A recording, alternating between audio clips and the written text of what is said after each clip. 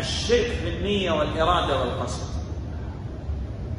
إذا ذكر المؤلف رحمه الله في تفسير التوحيد فسر التوحيد بضد الشرك في الدعاء والشرك في المحبة والشرك في الطاعة والشرك في النية والإرادة والقصد. وذكر أعظم ما يبين لا إله إلا الله. لأن قلنا لا إله إلا الله بناء كهذا المسجد. يقوم على عمودين. لا إله نافيا جميع ما يعبد من دون الله. هذا الركن الأول. تنفي تكفر بجميع ما يعبد من دون الله. إلا الله مثبت عباد الله وحده لا شريك له. قال من قال لا إله إلا الله وكفر بما يعبد من دون الله. حرم دمه وماله. يعني الذي لم يكفر لم يحرم دمه ولا ماله. إذا لا إله إلا الله تقوم على ركنين.